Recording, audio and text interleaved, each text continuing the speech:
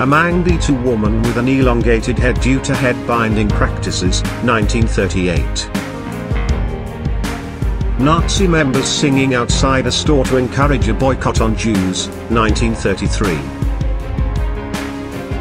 A color photograph of a truss bridge spanning the Kama River, Russia, 1910. French soldiers with a 58mm medium trench mortar, 1915. Three German soldiers returning after infantry exercise drills, 1941. A captured Confederate encampment in Petersburg, Virginia, 1864.